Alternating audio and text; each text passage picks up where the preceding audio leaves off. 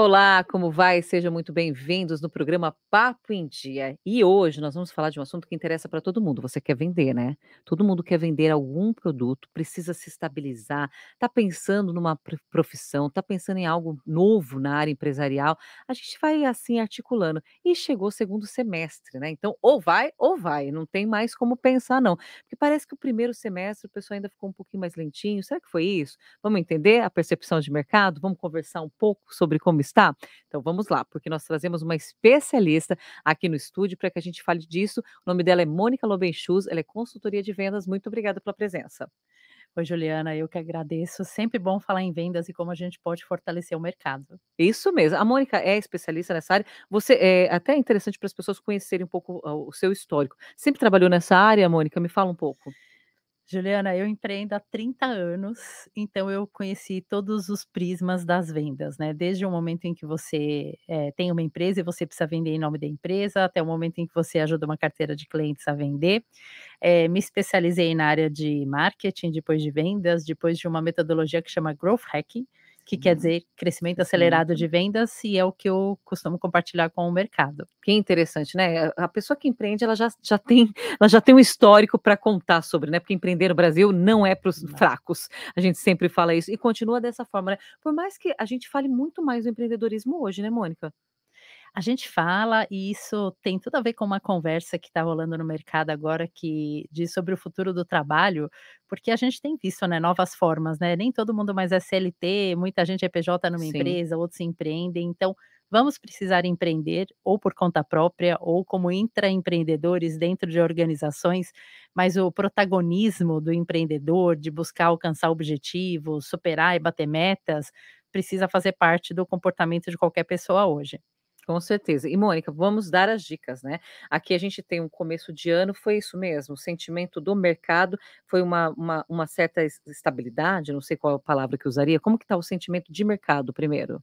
É, a gente já veio assim com jogando contra no mercado internacional, que tinha aí uma perspectiva de crescimento bem baixinho, de 2%. o Brasil ainda tinha uma perspectiva de 7 a 10%. tinha muita insegurança do mercado em relação a como seriam esses primeiros meses novos primeiros meses no Brasil, mas agora a gente chegou, né, no meio do ano, já já vamos virar o semestre, então, o mercado precisa entregar o resultado até o fim do ano e a gente já está vendo esse aquecimento agora. Tudo que não aconteceu no primeiro Que semestre bom. vai precisar desenrolar agora. Oh Deus, aquecimento, essa palavra aliás, está um frio, né, meu Deus do céu, frio literalmente, e chega de frio nas vendas, vamos aquecer isso.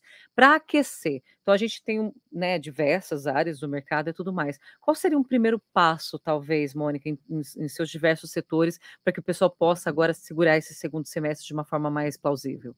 Eu vou usar uma palavra só que é planejamento. Tá, Eh, e dela eu vou falar mais algumas dicas aqui, eh, Juliana. Ter uma meta. Então, tem muita empresa que não cresce porque não tem uma meta cravada, então ela não sabe quanto ela precisa faturar esse ano. E aí qualquer número serve. Agora, se você tem uma meta, você vai falar: "Bom, eu tenho 6 meses para entregar isso", e aí você começa a trabalhar estratégias, novos canais de vendas, novas promoções e muitas vezes você consegue bater sua meta. A gente precisa ter esse número e esse prazo para alcançar. primeira coisa é meta, Primeira coisa na na conversa. E aí como que faz o planejamento disso? Aí a gente faz a engenharia reversa. Tá, Se eu tenho 6 meses para bater essa meta, o que que eu preciso construir mês a mês? É como uma reforma de uma casa, né, você não fica com a casa pronta em um mês, ela tem etapas, mas lá no fim do ano ela vai estar pronta. Eh, no planejamento de vendas é do mesmo jeito, então você precisa ter lá quanto precisa ser faturado, vendido mês a mês até dezembro, e onde você vai achar esses clientes, né. E aí é é a pergunta de $1.000.000, porque traz para a gente um exercício bem difícil, que é se colocar no lugar do cliente e saber como ele compra hoje. E e nossa, isso é a maior realidade, né, às vezes a gente quer alguma coisa, mas não entende o cliente, né, entende o que é a gente. Isso é normal nas áreas mesmo? É, é normal porque é da nossa consciência a gente pensar, né, primeiro na na nossa situação, a gente exercitar só o nosso olhar, o que a gente vê, como a gente compra, e eu vejo muitos dias muitas vezes empresários falando: "Ah, porque na minha empresa sempre foi assim que a gente vendeu", porque é o estilo dele, mas hoje a gente tem diferentes gerações no mercado, cada uma compra de um jeito. Eh, hoje mesmo eu recebi um estudo de tendências de redes sociais, eh, mostrando que vai haver, assim, uma quebra de paradigma em várias redes Me pelas conta tudo, me conta tudo. eu vou contar. Tendências das redes sociais e a gente sabe que hoje em dia as redes sociais movimentam o mundo, inclusive a economia. Hã, a gente tem diferentes gerações, hã, convivendo, então temos lá diferentes hábitos, formas de consumir. Então a gente tem gerações que viram a internet nascer e estão lá em algumas redes e comprando num determinado estilo de negócio, e a gente tem as novas gerações que, nesse estudo mostrou que foram muito impactadas pela pandemia, com aquele sentimento de: "Será que eu vou sobreviver à pandemia?", e elas já têm um comportamento totalmente diferente na rede social. Então eles estão falando sobre fragmentação de redes, como você precisa ter conteúdos muito, muito, muito nichados, customizados, ou seja, não adianta mais fazer a mesma promoção para todo mundo, usar o mesmo canal de venda para todo mundo, porque cada consumidor é muito individualizado. E as redes vão começar a mostrar isso pra gente daqui a pouquíssimos meses. Esse é um estudo que faz um mapeamento pra de 3 a 5 anos, então a gente vai começar a perceber agora. Muito bom, a gente já trouxe em primeira mão aí pra vocês, a tendência que você já deve prestar atenção. E e o que é mais legal é que a gente pode falar em níveis que são altos, né, que são grandes, as pessoas que têm empresas maiores, mas empresas menores. É a mesma coisa, a nichar o conteúdo, fazer o público-alvo, fazer precificação, é é a mesma tendência, só que em micro e macro, é isso mesmo, né, Mônica? Exatamente, Juliana. E o que eu vejo é que, assim, é muito interessante, porque o que diferencia um grande negócio de uma pequena empresa é que o grande negócio tem a sua meta traçada e faz todo dia o que precisa fazer pra chegar lá. Sim. E às vezes o pequeno se distrai no meio do caminho, porque precisa apagar um incêndio aqui, porque faltou um funcionário dali e ele se distrai da meta. Mas se você tem a meta, faz todo dia o que você precisa fazer, olha para os pontos de melhoria e fala: "Nossa, se eu colocar um dinheiro a mais numa rede social, patrocinar um programa, eh, gravar um podcast, se eu criar uma oferta diferente", melhorar um pouquinho a cada dia, todo mundo chega lá. Com certeza. E a aquela receita, né, do final do ano, como que pode avaliar hoje em questão de tendência pra gente falar da da questão de serviços, né, porque hoje a gente sabe que muito do empreendedorismo tá na questão de serviços. É é dá ainda essa venda do artesanato, por exemplo, de prestar serviços, por hoje como dog walker, sabe, tipo, vários setores que a gente que a gente vê que a é a pessoa mesmo que é o empreendedor e ela que executa. Isso. Como tem sido isso também para as vendas desse produto, que tantas pessoas têm feito? É, funciona super bem. O que o que vale para o mercado inteiro, vale pra esses empreendedores também, que é caprichar muito no atendimento, ter uma proposta de valor diferenciada, o que a gente precisa se destacar no mercado. Então não adianta ser tudo igual, precisa ter um algo diferente, eh, um um lembrete, vai, digamos que seja um dog walker, às vezes ele sabe da rotina de medicamento daquele animalzinho e ele manda um lembrete, ele fala de uma promoção que tá acontecendo em algum lugar, de um campeonato, eh, de um passeio, de um evento, é agregar valor e, em geral, a gente faz isso com conteúdo de valor para as pessoas, levando informação e conhecimento. Nossa, isso é muito legal, né, a gente nem para pra pensar, mas faz toda a diferença realmente. E e chama atenção, uma coisa que esse alertinha simpático, né, não é pra ficar mandando 500 mensagens no WhatsApp, mas esse alerta simpático é importante. Eu eu ia fazer uma compra esses dias, acabei não fazendo, a pessoa deu um alertinha, eu fui lá e fiz. Como é rápido o negócio pra dar resultado? Conveniência, conveniência. Gente, que legal. É. Mônica, pra gente é um um primeiro momento, até quero te convidar pra próximos, pra gente falar realmente pontual, mas a outra coisa que tem chamado muita atenção é a questão do ESG, né. Eh, isso acho que não é que veio, ah, tá vindo, não, é existe e pronto, acabou. Pra todos os setores também, sustentabilidade? Pra todos os setores, porque acontece como foi com a lei de proteção de dados pessoais, né, alguém lá na Europa, nos Estados Unidos, começa a dar mais foco pra isso, que realmente é uma questão importante, porque a gente tá falando de preservação ambiental, cuidado com as pessoas, cuidado com transparência de informação, eh, e aí eles cascateiam isso para os seus fornecedores, que vão para os seus fornecedores, e aí aquele pequenininho que presta um serviço pra um um 5º terceirizado, precisa já estar adequado a essas práticas. Cadeia de produção. É isso, E tá então a a própria venda que vai ser no final vai fazer parte de todo esse roteiro? E vai estar no contrato, né, se você não for assim, você nem participa mais.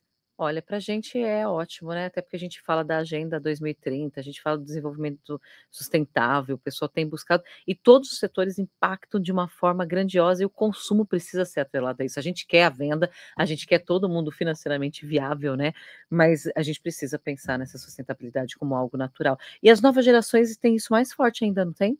Tem, elas, eh, topam pagar mais por um produto e topam boicotar outros, se aquilo não for sustentável, eh, e não só sustentabilidade do planeta, mas, eh, se não envolver um cuidado com a diversidade das equipes, das pessoas. Eh, às vezes a gente vê marcas se pronunciando de formas tão inadequadas nas redes sociais, com vieses preconceituosas, até em relação aos cuidados com as mulheres, né, fora outros grupos. Então, todo cuidado agora é importante para a gente construir uma sociedade com mais valor na essência, né. Sim. Mônica, para quem está começando no mercado, para quem está empreendendo, qual é a tendência de mercado mesmo em questão de de de novo novos players, né, novos nichos e tudo mais, isso você também já tem contato com isso? O que vai estar em alta, por exemplo, em 2024, vamos falar assim? É, todos os produtos e serviços ligados ao mercado ESG estão crescendo, Tá. a gente já vê isso. Eh, tem um crescimento muito forte no mercado também para tudo que é tecnologia, a gente sabe, mas especialmente, eh, soluções as a service, que a gente fala, que são aquelas soluções que você compra por assinatura. Como a gente tem a televisão, que a gente paga por assinatura e recebe todo mês, então muitos serviços estão passando por um processo de inovação, para que possam, eh, ser entregues como uma plataforma, uma plataforma tecnológica que você paga todo mês, fica um acessível fica um preço mais acessível para ser consumido, por quem é cliente e para quem é um empresário, ele tem a garantia da renda recorrente. Então essa é uma grande tendência no mundo. Ah, fora isso, a gente tem uma tendência também de, eh, pagamento pelo serviço só. Então, algumas coisas que a gente pagava uma parte inteira, a gente vai poder comprar por horas, por, hã, blocos menores, o que também torna tudo muito mais, hã, democrático e faz parte dessa economia de compartilhamento que a gente tem falado muito, né. Então todo mundo ter acesso a tudo, eh, de uma forma, assim, que ninguém é dono de nada, mas pode pagar pelo serviço mensalmente ou por uma parte. Olha, você falando isso me veio à cabeça a questão de, eh, cons eh, não é consórcio, como fala? Seguro de carro. Muito tem se falado daquela contratação específica. Por que a gente ainda não tem tanta confiança? Ou a gente que é mais velho tem um pouco mais de reticência a isso e os novos já estão fazendo? Porque a gente vê muito mais barato, ma mas a gente não confia, porque é totalmente digital. Por que isso, Mônica? Eu acho que tem produtos que têm problemas ainda. Tá. Eh, os mais novos nem querem o carro, né, já não querem nem contratar o seguro. Maravilhoso Eh, isso. eu tenho 2 filhos adolescentes que eles não querem nem saber de tirar a carteira de habilitação, carro então, Imagina, né, gente. pra quê? Eh, e, por exemplo, eu passei por uma experiência dessa que eu fui comprar um carro pra empresa e o seguro não tem solução corporativa ainda, essas novas plataformas. Então, Ah. na época que eu cotei, então tem uma questão também de, eh, evolução dos produtos. Sim, com É. certeza. E essa evolução dos produtos passa pelo nosso dia a dia, de tudo que vai vir a acontecer mesmo. É. Mônica, nosso bate-papo já trouxe aí pra vocês, gente, então planejamento e venda. Você tem como elencar 5 passos? "Olha, gente, a partir de agora, saiam aqui da da frente, pensem na sua empresa, disso, disso, disso, disso e disso". Dá aquela dica final aí para o pessoal. Vamos lá, dica número 1, ter uma meta pra chegar lá em 31 de dezembro, e aí a meta é faturamento e lucro, porque Tá. tem de sobrar dinheiro desse faturamento. Sim. Divida essa meta em 6 passos, que aí você vai ter um pra julho, pra cada mês até dezembro. Dica número 3, acompanhe os resultados todos os dias. Dica número 4, otimize. Otimize é, olha para o resultado que ele te fala o que tá ruim e o que tá bom, melhora o que tá bom, acha um plano de prevenção para o que está ruim. 5, vá atrás dos clientes, não espere que eles venham.